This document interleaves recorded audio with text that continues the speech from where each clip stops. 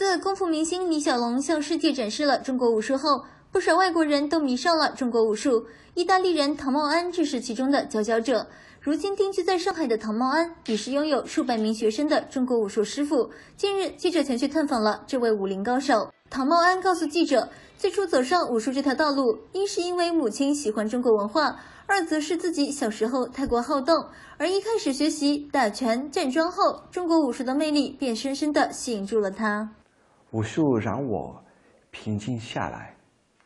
练功的时候，我什么也不想，就练一个小时、两个小时、十几个小时，每天练。很快，武术成为我的生活。由于国外深入了解中国武术的人不多，十八岁那年，怀揣着对中华文化的热爱，唐茂安第一次踏上了来中国的旅程。十八岁的时候，我妈妈给我一个生日礼物。来中国的飞机票，他也非常喜欢中国文化。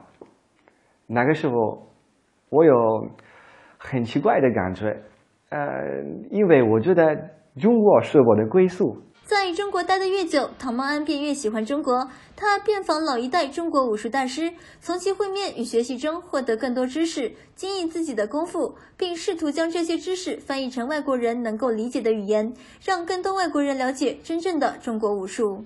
我在和别的朋友一起翻译一些理论，可以用简单的方法和语言解释一下很晦涩的概念。你说天人合一、开门见山、一刀气、气刀行，好像很酷，但是里面是什么意思？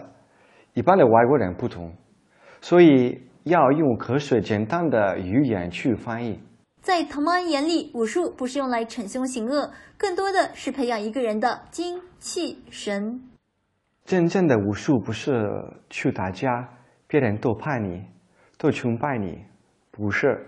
练武术的目的，呃，是对自己，每天要身体和思想比昨天好，要练外面的身体，也要练里面的东西。